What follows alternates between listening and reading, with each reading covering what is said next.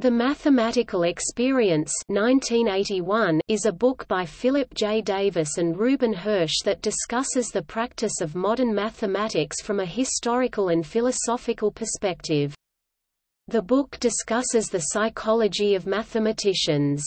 It gives examples of famous proofs and outstanding problems, such as the Riemann hypothesis.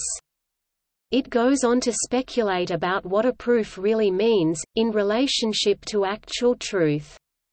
Other topics include mathematics in education and some computer mathematics.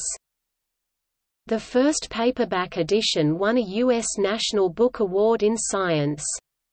It is cited by some mathematicians as influential in their decision to continue their studies in graduate school, and has been hailed as a classic of mathematical literature. On the other hand, Martin Gardner disagreed with some of the author's philosophical opinions. A new edition, published in 1995, includes exercises and problems, making the book more suitable for classrooms. There is also the companion guide to the Mathematical Experience, study edition. Both were co-authored with Elena Marchisotto. Davis and Hersh wrote a follow-up book, Descartes' Dream, The World According to Mathematics Harcourt, 1986, and each has written other books with related themes, such as Mathematics and Common Sense, A Case of Creative Tension by Davis and What is Mathematics, Really? by Hersh.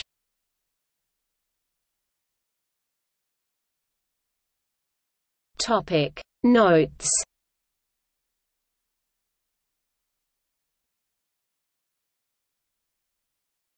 Topic. External links.